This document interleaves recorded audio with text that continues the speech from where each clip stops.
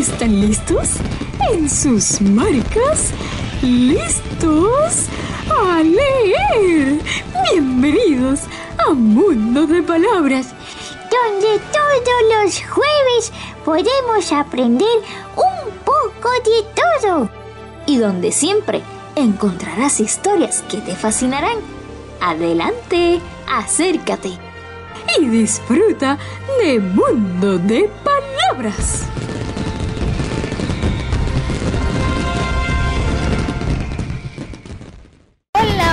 Hola, bienvenidos a Mundo de Palabras, un espacio educativo repleto de historias y curiosidades para toda, toda la familia, desde los chiquititos hasta los chiquititos otra vez porque se le está doblando la espaldita, ¿verdad? Hoy están viejitos. No, ay, broma, broma. Ay, no, no, no. Para toda la familia. Y hoy me acompaña Titi Angie.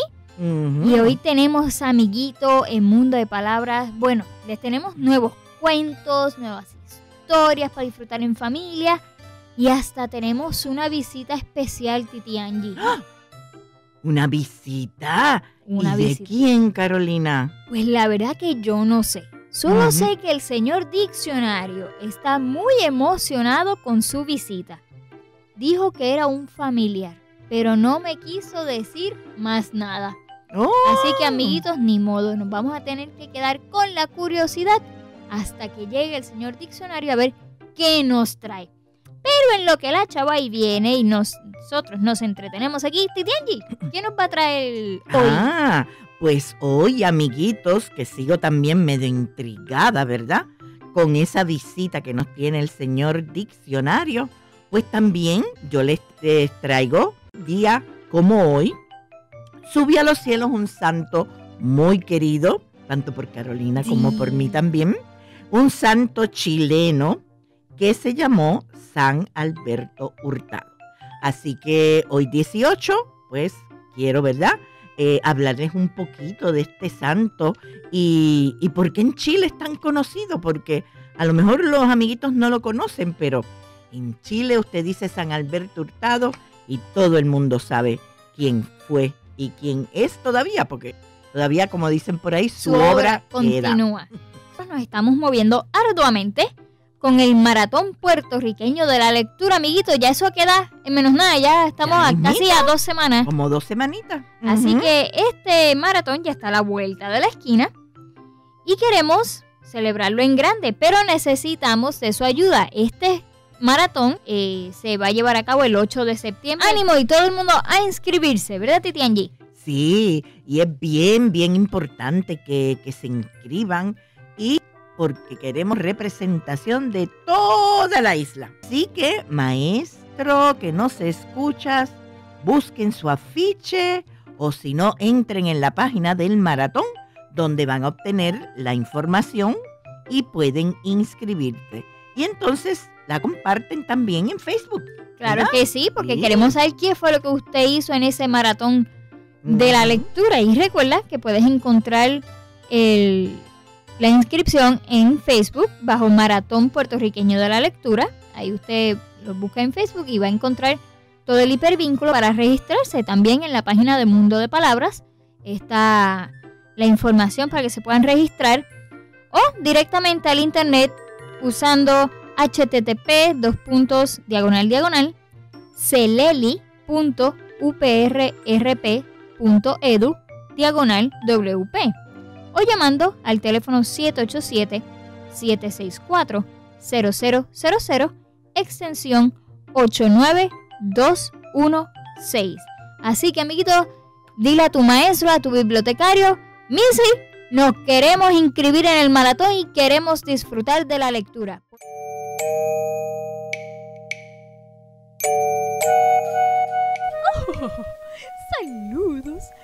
¿Dónde están mis chicos aventureros de los libros? Es hora de disfrutar una magnífica historia. El Freire de Matos, Toyita, Aventuras de una hormiga. Y dije, pues, ¿qué tal si les leemos a nuestros amiguitos esta historia para recordar el maratón y que todos se inscriban? Perfecto, comencemos con los cuentos. Comencemos con el cuento de Toyita, aventuras de una hormiga. Toyita era una hormiga tan soñadora que se fue de aventuras en una yola. Iban sus pies, sus seis patitas, rema que rema, iban toca que toca sus dos antenas. Sus ojitos compuestos bien la orientaban sobre las maravillas que al sol brotaban. Por fin llegó a una isla de otras hormigas laboriosas y alertas, las pomerinas. Su hormiguero era ejemplo de arquitectura, con pasillos y cámaras en miniatura. La recibió la reina, la más hermosa, con manto transparente de alas sonoras. Una hormiga melera le trajo miel y otra le sirvió migas de pan francés. Toyita era feliz, pero una tarde llegaron las guerreras con mucho alarde. Eran sus aguijones finas espadas y todo lo asolaban como piratas. No valió su defensa a las ponerinas con el ácido fórmico y las mandíbulas. Toyita fue a salvar las larvas tiernas y ocultó bien las celdas con hierba seca. Los soldados salieron con su botín, pedacitos de insectos y perejil. Recibió nuestra amiga cinta dorada por salvar a las larvas y las crisálidas. Las hormigas obreras, muchas lisiadas, andaban con muletas, vendas y gafas. Vinieron a cuidarlas las parasol, hormigas pacifistas sin aguijón. Hacían de los hongos rica papilla y usaban grandes hojas como sombrillas. Sanaron felizmente las ponerinas y regresó a su tierra nuestra heroína. Qué alegría profunda la de Toyita al llevar a su pueblo tan bella cinta. Junto a la esbelta reina de la colonia, subió hacia la tarima de ceremonias. Iban miles de hormigas, unas con flores y otras con banderines o agitadores. Allí había globitos de rica miel, pelotillas de hongos y finas mies. Al son de los violines, las bailarinas danzaban como nubes en tersa brisa. Toyita, que soñaba con ser gaviota, se imaginó danzando sobre las olas. Llegó una hormiga obrera muy diligente y le entregó una placa liliputiense. En reconocimiento a su valor, decía sobre el barro de ocre color la diminuta orquesta tocó una plena y el payaso aplaudía con las antenas. Terminada la fiesta, sola, solita, partió hacia las Américas la fiel Toyita. Tan pronto llegó a Miami, vio entre las flores a la hormiga pastora con sus pulgones conoció en el oeste a las cosecheras que recogían granos y hierbas tiernas. Y la hormiga de fuego, hábil minera, lo mismo tierra adentro que por la arena. Y a la ágil tejedora que hace su nido cosiendo bellas hojas con finos hilos. En tierras mexicanas vio a las meleras almacenando miel en una obrera. La colgaban del techo como botija y le inflaban con miel la barriguita. Luego sorbían miel labio con labio hasta que vaciaban el vivo tarro. La América del Sur es tierra fértil de robustas hormigas, bellas y fuertes. Qué sabias las mineras del cafetal, haciendo subterráneos para sembrar. Cortaban hojas y hojas con sus mandíbulas y las partían luego en finas tiras. En ese picadillo, como un collage, cultivaban los hongos para cenar. También la fuerte gaucha, llamada arriera, trituraba las hojas como una sierra. Eran inteligentes estas hormigas, que ejercían con arte la dura vida. En Brasil vio Toyita el poderío de enormes amazonas bordando el río. Marchaban en ejércitos muy ordenados, acosando animales de lado a lado. Transportaban insectos, larvas, palitos, trozos de hojas variadas, hierbas y granitos. Y seguían marchando las amazonas con ritmo de pausada ronda folclórica. Vio cómo la esclavista pasa de moda con la eficaz obrera liberadora. Antes de terminar su grata gira, se despidió Toyita de sus amigas. En el alto andamiaje de un viejo árbol se veían, las termes con sus taladros. ¡Buen viaje!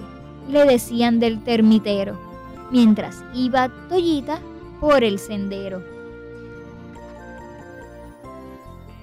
Ya ven amigos, qué lindo microcosmos el de la hormiga que trabaja en silencio día tras día. ¿Tendrá mini astronautas o extraterrestres en galerías ocultas las hormigas célebres? Y colorín colorado, este cuento se ha acabado. Y para aquellos que se preguntan, pues, ¿quién fue Isabel Freire de Matos? Pues Isabel Freire de Matos fue una gran escritora, gran educadora también, que nació en Sidra y desde muy joven demostró su predilección por la literatura y la educación. Así que primero estudió un bachillerato en arte de la Universidad de Puerto Rico, luego sus estudios posgraduados, estudió educación, español y teatro. Trabajó en escuelas públicas y privadas de Puerto Rico, en proyectos de educación preescolar y en la Escuela Elemental de la Universidad de Puerto Rico. Se casó con Francisco Matos Paoli y tuvo dos hijas, Susana Isabel, que es profesora de literatura, y María Soledad, dedicada a la educación. Así que amiguitos, Isabel Freire Matos fue una gran educadora con muchos cuentos para ustedes, como por ejemplo El girasol, Mi isla en poesía, Los animales del patio, El pececito mágico, ABC de los animales, para el pajarito feliz, que es una obra de teatro muy bonita. Y para los eh, maestros tiene muchos escritos muy bonitos, como lo son la poesía y el niño, el teatro del niño, el cuento y el niño. Y así, muchas, muchas obras. Así que con ustedes, Isabel Freire de Matos. ¡Hola, amiguitos! ¡Ya llegué! Soy yo, el señor diccionario, que te vengo a ayudar con tus dudas y yo con mis palabras. ¡Hola! ¡Ay! ay, ¡Hola, amiguitos! ¿Cómo están? ¡Ay! Hola, señor diccionario. ¿Cómo se encuentra usted hoy? Hoy, hoy estoy muy emocionado, Titi Angie. Sí, y nosotros también, porque eso de que usted va a traer y que a alguien. ¡Ay, sí, sí! Es que, ay, es que no saben, amiguitos, la alegría que tengo. Porque me acompaña alguien muy especial para mí. Ay, qué bueno, qué bueno. Y dígame, ¿de quién se trata? Ay, bueno, pues es que resulta que me vino a visitar mi primo, el diccionario inglés-español. Sí, ¿se acuerda que la vez pasada hablábamos de los diferentes tipos de diccionario y todo? Sí. Pues me llegó de sorpresa mi primo Ajá. y pues, pues viene a hacerme compañía una temporada. Saluda, primo, saluda, ven, ven aquí. No, no, no tengas miedo, mira. Ah, oh, oh, hello. Hello, how are you? I'm glad to be here. Oh, hello, Titi Angie. Hello, Mr. Magician. Oh, hello, everybody. Buena, buena, señor eh, primo, le llamamos. Oh, sí, a él le gusta mucho que le digan primo. Ajá. Oh, you're sí. always so funny, my little cousin. Oh, aquí estoy, amiguitos, para ayudar a mi primo, el señor Diccionario. Mm. Co- ¿Cómo lo dije? ¿Lo dije bien? Oh, sí, claro, tú siempre lo dices bien, primo. No te preocupes. Aquí todo se acepta, no hay Claro que problema. Pues saben, amiguitos, que mi primo, el Diccionario, eh, va a estar acompañándonos aquí de vez en cuando y eso, porque vamos a tratar de hacer un trabajo en equipo. Oh, Mm. that's correct, a teamwork. Because I'll be giving a word in English and my cousin here will be giving the word in Spanish. Así que amiguitos, si tienes dudas de cómo se dice una palabra en español, luego en inglés, o de inglés y no sabes cómo se dice en español, pues esta temporada mi primo va a estar con nosotros. Ah, pero entonces no es por hoy solamente. ¡Ay, Va no, no! Ah, Va a estar en varias ocasiones, pero fue que lo estoy sacando a pasear para que conozca eh, aquí en la estación, mundo de palabras. Se acostumbra a libros y letras, pobrecito, lo tiene envuelto loco. Oh, please don't say those names. That cat and that little dog. Oh, they're so scary, Titi Angie, they're so scary. Ah, Ya, pobre. bendito. Es que Titi Angie, imagínese, gato no le hizo caso. Y, y libro, pues, ya sabe cómo se vuelve libro. Ay, como Ah. todo perrito empezó a olfatear lo que casi le tumba todas las letras. Ay, pero hay que darle la bienvenida a ese querido primo suyo, señor diccionario, y decirle que nuestras puertas están abiertas para cuantas veces él quiera venir. Oh, thank you, thank you very much. And I'm glad to be here with you. So, listen up, guys. I'll be here telling you all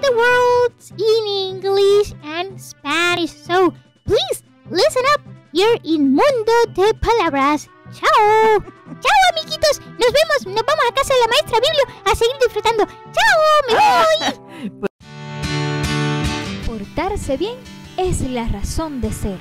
Con Titi Angie lo vas a aprender. Amiguitos, hoy el cuento es del libro Historias de Angelitos de Ivano Argento y Fabricio Subani. Y el cuento se titula Un jardín infantil en el cielo. En el cielo hay un lugar preparado por Dios para hospedar a los niños y niñas que aún no han nacido una especie de sala de espera. Aquí ellos y ellas juegan alegremente con los angelitos. Más que una sala de espera, quizás sería justo llamarla un jardín infantil en el cielo. Cuando les llega la hora de nacer, Dios va a saludarlos. Junto a ellas parten también los ángeles con quienes han jugado hasta aquel momento. Estos en verdad no son solamente ángeles, sino sus ángeles de la guarda. Cuando el Señor da la orden de partir, cada ángel de la guarda toma de la mano al niño o niña, a él confiada, y baja a la tierra, llegando a casa de la familia a la cual el pequeño o la pequeña está destinado. Y todo ocurre muy rápido, dado el gran número de recién nacidos. Mientras llega el momento de dejar, dejar el jardín celestial, las niñas y los niños siguen jugando con sus angelitos. Durante una de las partidas ocurrió un hecho bastante extraño. Una de las niñas rehusaba irse. Las otras, junto con los angelitos, buscaron conven- convencerla, pero todo fue en vano. Anda, ven, ¿no ves que ya estamos todas con nuestros ángeles guardianes lista para partir? No, no y no, yo me quedo aquí. respondió la pequeña niña meneando la cabeza obstinada. Si no vienes, ninguna de nosotras podrá partir. ¿Y por qué? Cada ángel debe ir junto a una sola de nosotras. Entonces nada les impide irse. Vayan ustedes. Yo iré después. Mientras los pequeños discutían, llegó un gran ángel con la lista de los viajeros. A medida que el ángel iba llamando, los ángeles guardianes tomaban de la mano a las pequeñas y pequeños y se ponían en fila.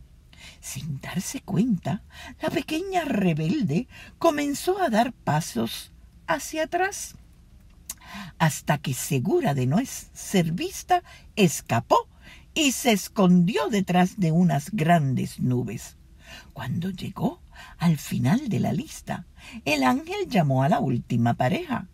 Como respuesta, oyó un grito de desesperación. ¿Qué sucede? preguntó extrañado. Mi pequeña. He perdido a mi pequeña. dijo desesperado el ángel guardián.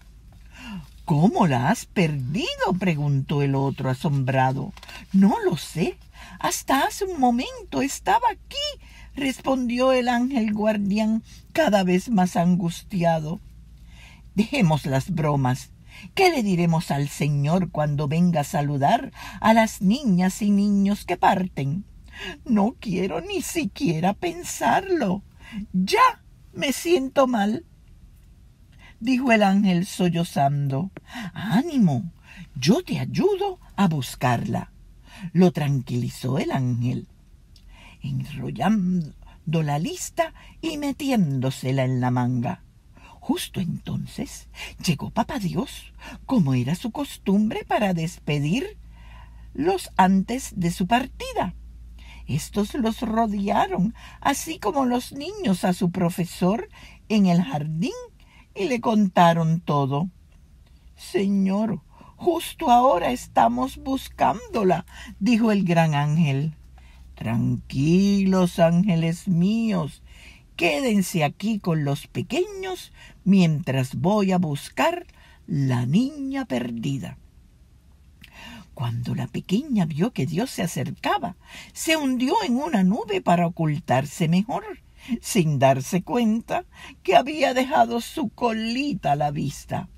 Al ver aquella graciosa escena, el señor se echó a reír, metió la mano en la nube y sacó a la pequeña currucada y con los ojos cerrados. Se sentó a su lado, la levantó entre los brazos y la hizo sentar en sus rodillas. ¿Qué te sucede, pequeña? le preguntó dulcemente. No quiero irme. Quiero quedarme aquí contigo y con los ángeles, respondió la pequeña, abrazándolo. Ahora regresamos a Mundo de Palabras. ¿Qué será lo que vamos a aprender ahora? Portarse bien es la razón de ser. Con Titi lo vas a aprender. La vida en la tierra es una experiencia maravillosa y deseo que tú la tengas. Si no fuera así, no te habría creado, respondió el Señor. ¿Y si no me gusta allá abajo? Te ruego que me dejes quedar contigo, dijo abrazándolo con más fuerza aún. Entiendo que tengas miedo, porque no sabes qué te espera. Entonces te puedo decir que tu vida sobre la tierra será dura, porque algunas cosas causan sufrimiento, pero también hay otras que dan mucha alegría. Hay cosas maravillosas por las cuales vale la pena sufrir para vivirla. Si estos sufrimientos son tan grandes, me podré equivocar en la vida entonces. ¿Qué pensarás de mí? le preguntó pensativa. No espero que seas perfecta.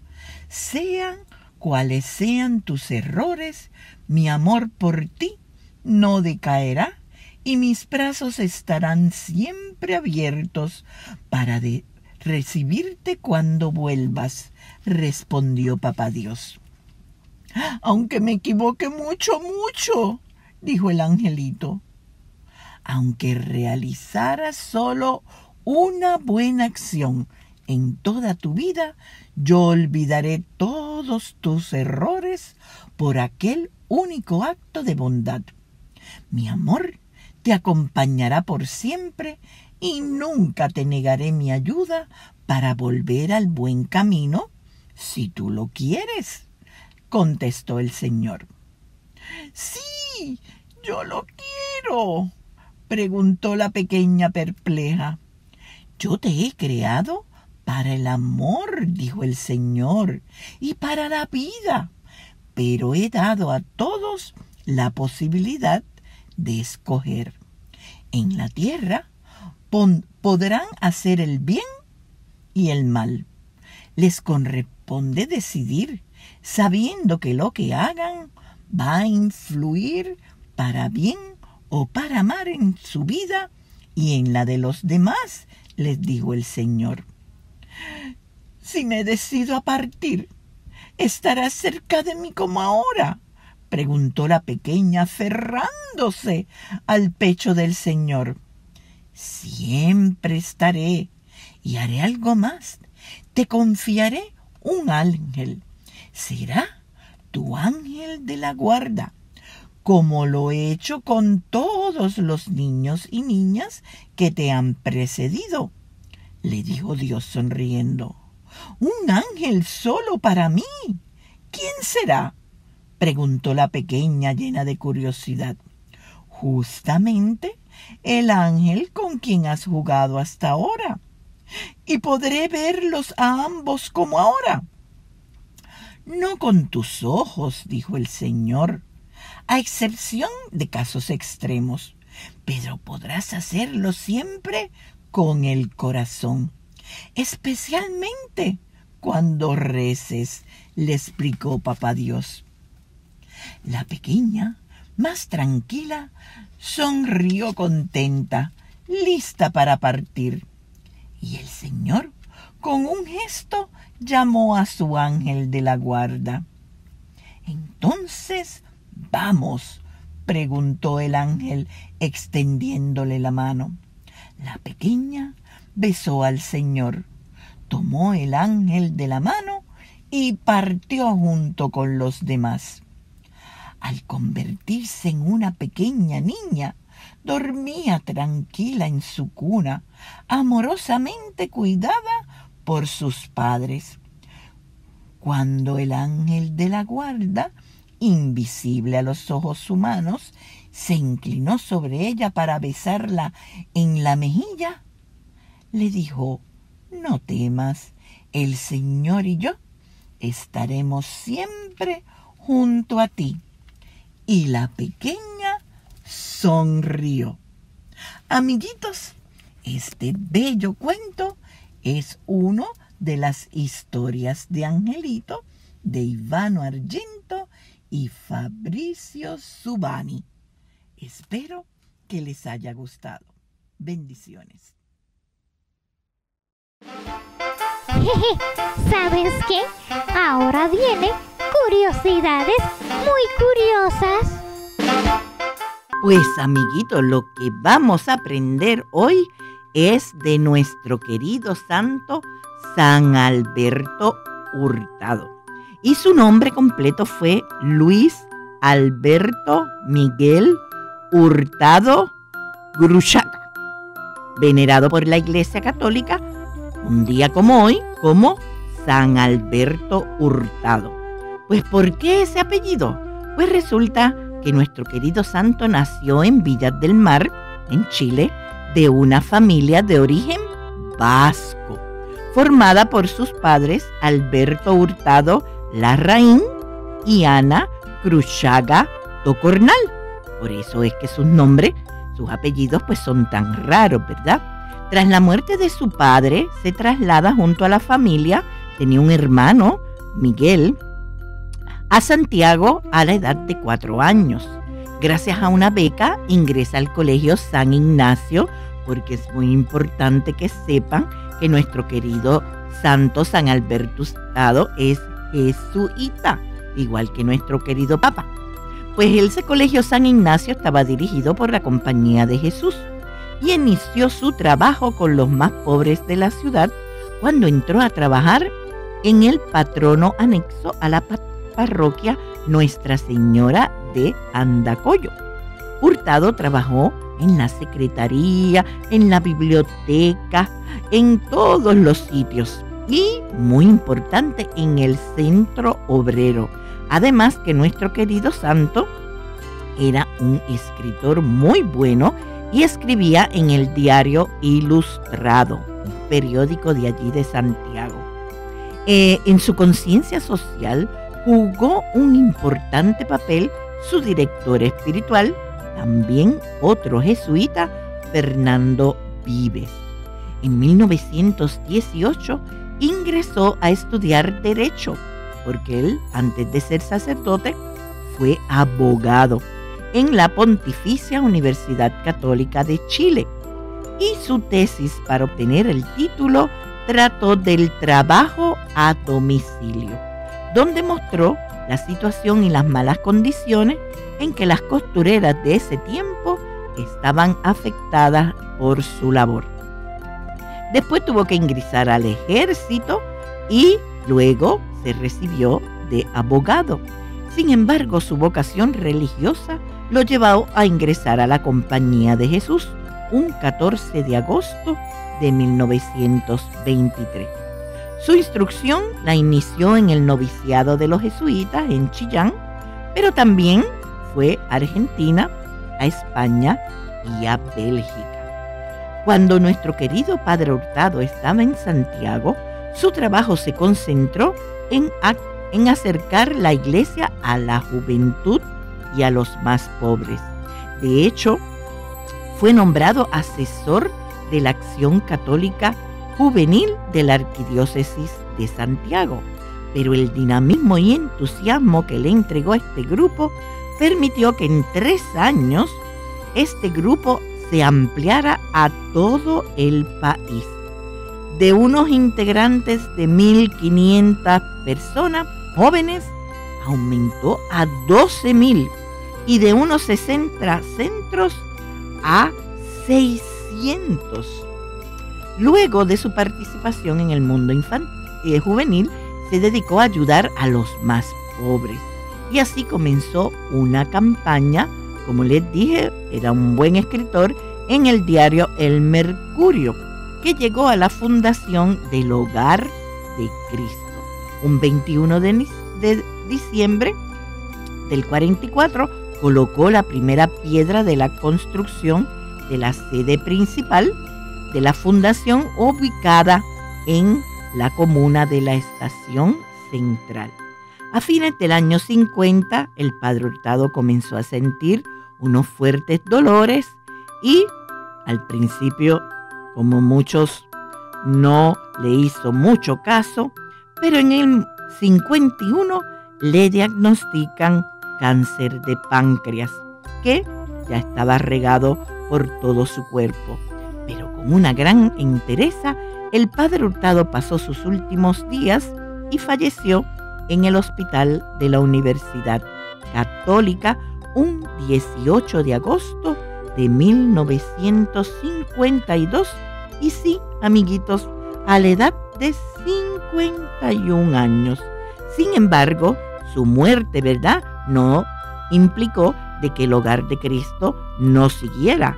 Al contrario, se ha vuelto en la mayor institución de beneficencia de Chile y San Alberto Hurtado es uno muy amado entre jóvenes, pobres, ancianos y obreros.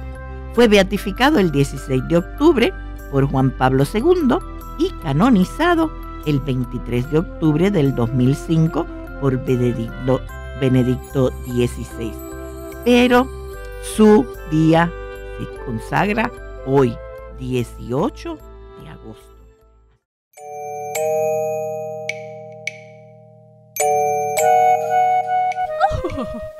Saludos. ¿Dónde están mis chicos aventureros de los libros? Es hora de disfrutar una magnífica historia.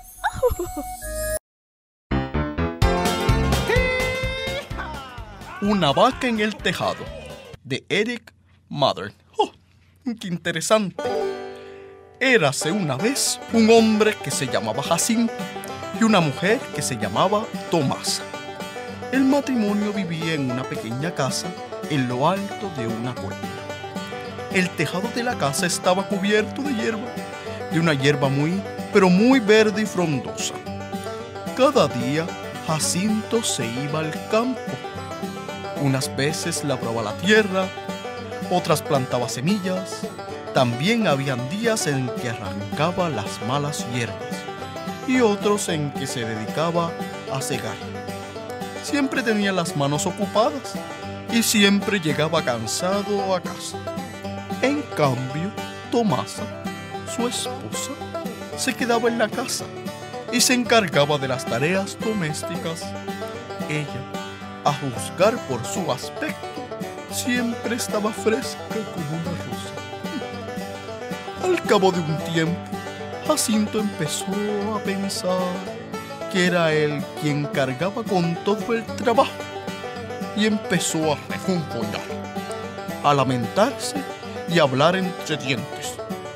Al final, a Tomasa se le acabó la paciencia y le soltó. Muy bien, Jacinto. Si es así como te sientes, mañana yo haré trabajo y tú te quedarás en casa. Perfecto. Aprobó Jacinto. Mañana me rescaré la tripa. Mañana tendré vacaciones. Me tomaré el día libre.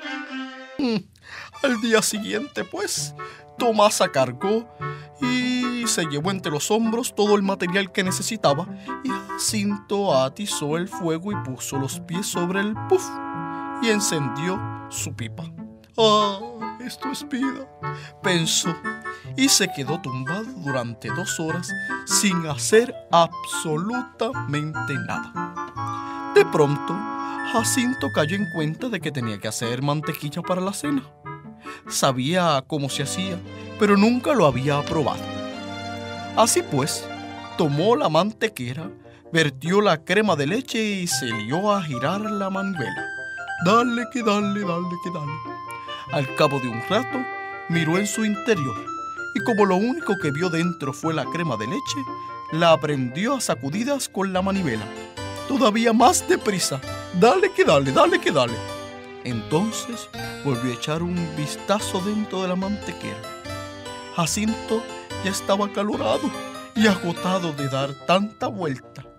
Por tercera vez giró la manivela con todas sus fuerzas y él, y él venga a girar sin parar. Pero tampoco hubo suerte, nunca lo lograría. En aquel instante, Jacinto sintió muchísima sed. Ya lo tengo. Bajaré en la bodega y me serviré una estupenda jarra de cerveza. En un abrir y cerrar de ojos, Jacinto se plantó en la bodega. Allí, al final de la escalera, había un tonel lleno de cerveza negra casera riquísima. Abrió el grifo y empezó a llenar una jarra. Qué bueno pinta tenía. Era oscura y espumosa y desprendía un aroma que le hizo la boca. Sintió como ganas irresistibles de probarla. Pero de repente, en el piso superior se oyó un estruendo, un gruñido y el ruido de algo que caía al suelo. ¡Oh, no! exclamó Jacinto. Dejó la jarra al momento y se apresuró hacia la cocina. Resulta que se había dejado la puerta de la cocina abierta y se había colado un cerdo dentro de la casa. ¡Qué cosa terrible! Había volcado la mantequera y se había derramado toda la crema de leche por el suelo. Justo en ese momento, el cerdo lamía la crema de leche con glotonería. Jacinto se puso, echó una furia y echó al cerdo de la casa a patadas. Vaya pues, ¿qué se le va a hacer? Dijo, escondiéndose de hombros mientras observaba aquel desastre. ¿Qué se va a hacer? Entonces Jacinto cayó en la cuenta. No se había acordado de cerrar el grifo del tonel. En un santiamén se plantó en la bodega, pero aún así llegó tarde. Todo el suelo se había convertido en un gran charco de cerveza. ¡Oh, qué desgracia! Aquello era peor que echar a perder la crema de leche. Pero ya no había remedio y Jacinto volvió a encogerse los hombros. Vaya pues, ¿qué se le va a hacer?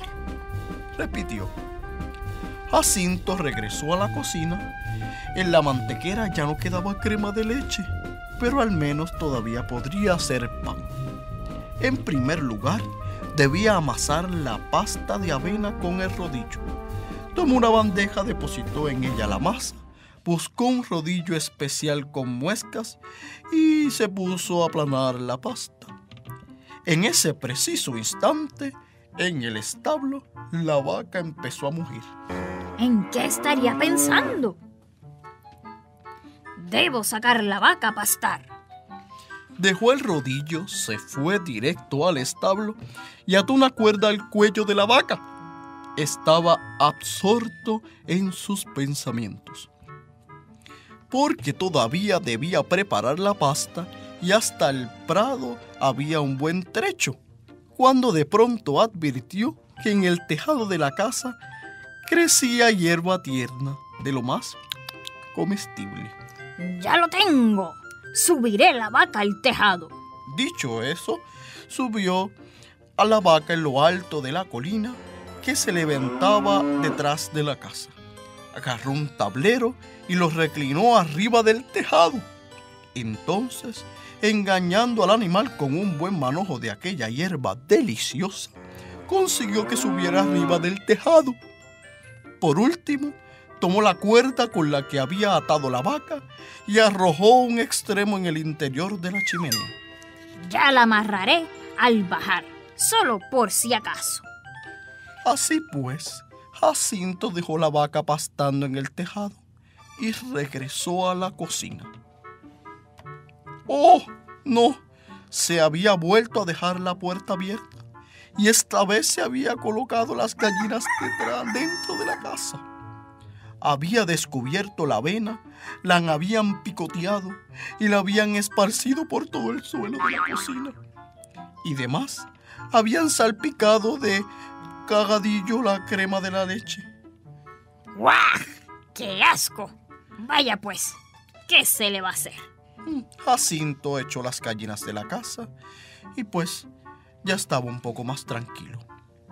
Por suerte, todavía le quedaban avena y la puso en el fuego en la olla con agua. Estaba atizando el fuego cuando vio la cuerda que colgaba. Tomó el extremo y se la ató al tobillo. Así sabré qué hace la vaca en el tejado. Resolvió y se puso a remover la avena. Justo cuando empezaba a espesarse, de pronto la vaca resbaló y se cayó del tejado. Debido al fuerte tirón, Jacinto subió por la chimenea y se quedó atascado en su interior. Boca abajo. Fuera, el pobre animal apenas tocaba el suelo y se ahogaba con la soga en el cuello. ¡Mu! ¡Mu! mugía desesperadamente. Mientras tanto, en el campo, Tomasa no había tenido ni un solo respiro. Al alzar la cabeza y ver el sol tan bajo, supo que ya pasaba de la hora de cenar y se dirigió a la casa. Al acercarse, ¿cuál fue su sorpresa al ver una vaca colgada del tejado? Sin perder ni un segundo, arrancó a correr se apoderó del hacha del picote y partió la cuerda en dos. Dentro de la casa, Jacinto se precipitó hacia el vacío y aterrizó dentro de la olla con pasta de avena. Cuando Tomasa abrió la puerta, se encontró un Jacinto cubierto de hollín hasta el cuello y con la cabeza embadurnada con avena. La había armado. Tomasa observó toda la crema de leche y el heno desparramado. Toda la suciedad que había dejado las gallinas y el cerdo y sintió el olor penetrante de la cerveza que salía de la bodega. Luego sonrió y soltó. Vaya pues, ¿qué se le va a hacer? Pero a partir de este preciso instante, tú dedícate a lo tuyo, que yo me dedicaré a lo mío y no se hable más. Lo siento, cielo. Estaba equivocado. Admitió Jacinto. Tu trabajo es tan duro como el que hago yo. Al día siguiente, Jacinto se fue al campo muy decidido y nunca más abrió la boca para quejarse. Y colorín colorado, con una vaca en el tejado, este cuento mm, se ha terminado. Jeje, ¿sabes qué? Ahora vienen curiosidades muy curiosas.